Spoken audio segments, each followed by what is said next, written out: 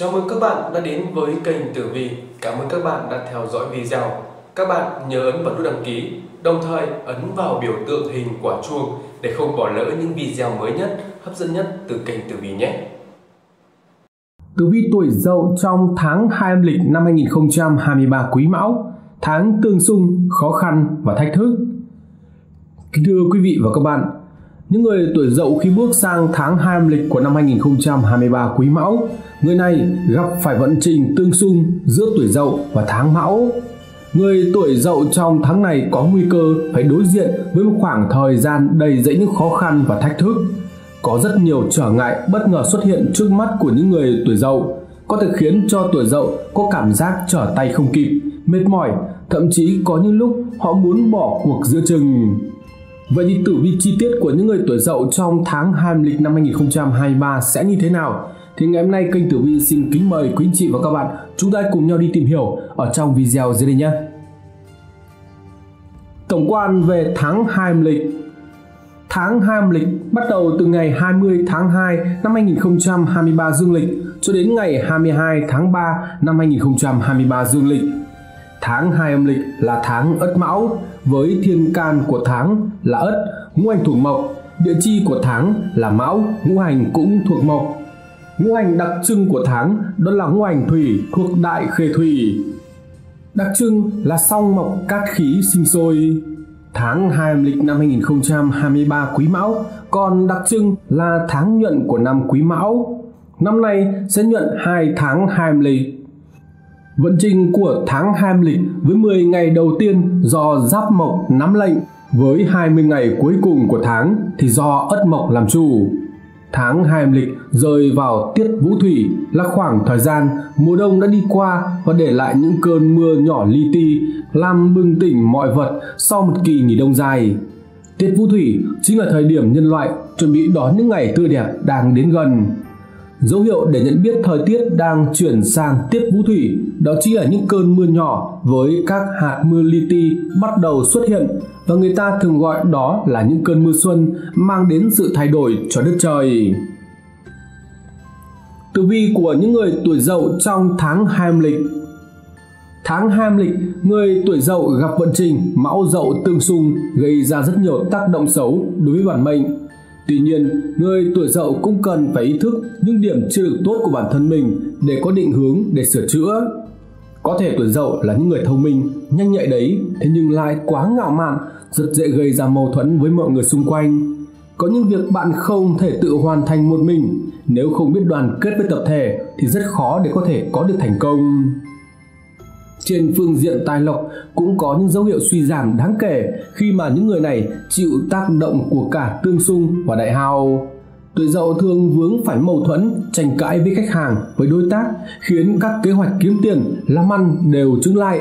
Ngoài ra, tuổi dậu cũng quá cứng đầu, cố chấp với quan điểm của bản thân mình nên không nhận ra những sai lầm hiện hữu, đẩy mình vào cảnh hao tài tốn của.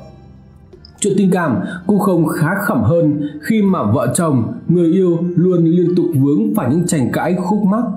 Tuổi dậu thường xuyên đổ những khó khăn, những áp lực mà mình phải chịu ngoài xã hội lên đầu đối phương, khiến quan hệ đôi bên càng ngày càng trở nên căng thẳng. Nếu tình trạng này kéo dài lâu, cả hai người sẽ càng ngày càng xa cách, thậm chí tạo cơ hội để kẻ thứ ba chèn chân phá vỡ hạnh phúc. Thứ nhất, về phương diện sự nghiệp của những người tuổi dậu trong tháng 2 âm lịch. Người tuổi dậu bước vào tháng 2 âm lịch, sự nghiệp có thể khó đạt được bước phát triển ở trong tháng này do những người tuổi dậu phải chịu tác động của quá nhiều hung tình vây hãm. Cục diện tương xung mà nguyệt lệnh lâm tuyệt khiến người tuổi dậu phải đối diện với rất nhiều những vướng mắc. Tuy nhiên, tiên trách kỷ, hậu trách nhân con giáp này cần phải nhận thức được những khuyết điểm của bản thân mình để sửa chữa trước khi lên tiếng trách móc người khác.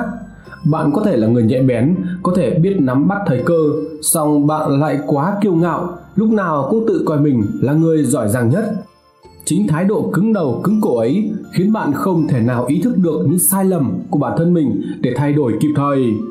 Bạn cũng sẽ rất dễ vướng phải những tranh cãi với bạn bè, với đồng nghiệp xung quanh trong tháng này, bạn có thể được giao cho rất nhiều công việc khó. Nếu không biết phát huy sức mạnh của tập thể thì khó có thể hoàn thành được công việc. Ngoài ra, bản mệnh còn phải đối diện với sự bòn chen, cạnh tranh khá gay gắt của bạn bè và đồng nghiệp. Một số người phải nhận nội dung công việc mới hoặc bị điều chuyển công tác nên mất rất nhiều thời gian, công sức để có thể làm quen lại từ đầu. Tháng này, hữu bật các tình xuất hiện giúp cho vận trình sự nghiệp của những người này đỡ phần ảm đạm hơn. Khi gặp phải những khó khăn, tuổi dậu đừng bỏ cuộc giữa chừng. Chỉ cần bạn thực sự cố gắng, nghiêm túc thì dần dần mọi việc sẽ đi vào guồng quay. Bạn sẽ tìm ra hướng đi của mình. Thậm chí, sự quyết tâm của bạn có thể gây ấn tượng tốt với quý nhân để đối phương giang tay ra cứu giúp. Thứ hai, phương diện tài lộc của những người tuổi dậu trong tháng 2 âm lịch Vận trình tài lộc của những người tuổi dậu trong tháng 2 rất khó có thể đạt được bước phát triển giống như mong muốn của những người tuổi dậu. Thậm chí bạn phải xác định tinh thần mình sẽ đối diện với rất nhiều những khó khăn, chỉ cần tiền bạc không bị thất thoát đã là điều may mắn lắm rồi. Cục diện tương xung và đại hao gây ra rất nhiều yếu tố bất lợi trên con đường kiếm tiền của bản mệnh. Con giáp này dễ vướng phải mâu thuẫn, tranh cãi với khách hàng và đối tác, khiến các công việc đang tiến hành lâm vào bế tắc bản mệnh cần phải có cách xử lý khéo léo các vấn đề phát sinh. Nếu không, vừa hao tiền tốn của lại vừa gây ảnh hưởng tới danh tiếng. Bạn cũng sẽ phải đối diện với sự cạnh tranh khá gay gắt đến từ đối thủ. Vì thế, bạn cần phải xác định được thế mạnh của mình để có thể phát triển theo hướng đúng đắn. Đừng thấy đối thủ làm gì thì mình phải làm theo. Vì vậy, bạn sẽ rất dễ đuối sức, không thu được kết quả khả quan có những lúc bản mệnh cần hạ cái tôi của mình xuống để đánh giá khách quan những gì mà mình đã và đang làm Trước khi phát hiện lỗi sai, kịp thời sửa chữa thì bạn mới có thể phát triển đi lên, đem về nguồn tiền tài, hành thông giống như dự kiến. Hữu bật cát tinh đem lại ít nhiều tác động lạc quan trên con đường tài lộc của những người tuổi dậu trong tháng 2. Với sự nhanh nhạy của mình, tuổi dậu có thể phát hiện ra được một vài cơ hội đáng thử sức. Hãy bắt tay vào làm việc ngay lập tức, sự chăm chỉ, sự quyết tâm của bạn sẽ tạo ra kết quả xứng đáng. Phương diện tình duyên, tình cảm, gia đạo của những người tuổi dậu trong tháng 2 âm lịch Người tuổi dậu trong tháng 2 âm lịch, con đường tình duyên, tình cảm, gia đạo của những người này cũng khó có thể có được tin vui. Bản mệnh có lẽ cần phải xác định tinh thần đối diện với rất nhiều điều không như ý với các cặp vợ chồng thì quan hệ đôi bên thường xuyên rơi vào trạng thái căng thẳng bởi bạn thường đổ những điều bất mãn, những bức xúc ở ngoài xã hội lên đầu người ấy. Muốn nhận được sự thấu hiểu, sẻ chia, điều bạn cần làm đó là bình tĩnh tâm sự với đối phương. Nếu như bạn đá thúng đụng nia, bạn sẽ chỉ càng đẩy mình vào hoàn cảnh căng thẳng hơn mà thôi. Còn trân trọng những gì mà mình đang có thì bạn hãy thay đổi cách hành xử của mình Việc chút giận lên đối phương chỉ khiến đôi lứa càng ngày càng xa cách, thậm chí khiến kẻ thứ ba có cơ hội chen chân vào mà thôi. Còn với những người tuổi dậu đang độc thân thì bạn không có nhiều thời gian quan tâm tới chuyện tình cảm bởi công việc ngoài xã hội khiến bạn cảm thấy quá mệt mỏi. Tháng này, cho dù được người khác chủ động tiếp cận đi chẳng nữa thì bạn cũng tỏ ra vẻ rừng rưng. Bạn cho rằng việc xây dựng một mối quan hệ mới vào thời điểm này là tốn thời gian và công sức. Phương diện sức khỏe của những người tuổi dậu trong tháng 2 âm lịch Tháng 2 âm lịch do có quá nhiều những khó khăn, áp lực trong cuộc sống cũng như công việc đổ dồn khiến cho những người tuổi dậu khó mà cảm thấy khỏe mạnh ở trong thời điểm này. Tuổi dậu thường xuyên cảm thấy mệt mỏi, căng thẳng, không muốn làm bất cứ công việc gì.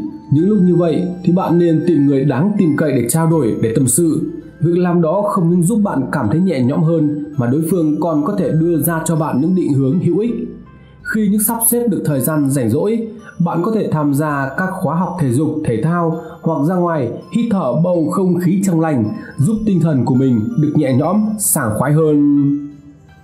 Các bạn đã được lắng nghe video Tử vi tuổi dậu trong tháng 2 lịch, tháng tương xung, khó khăn và thách thức nếu như các bạn thấy video hay và hữu ích, hãy chia sẻ để có thể ủng hộ cho kênh Tử Vi. Xin chào và hẹn gặp lại!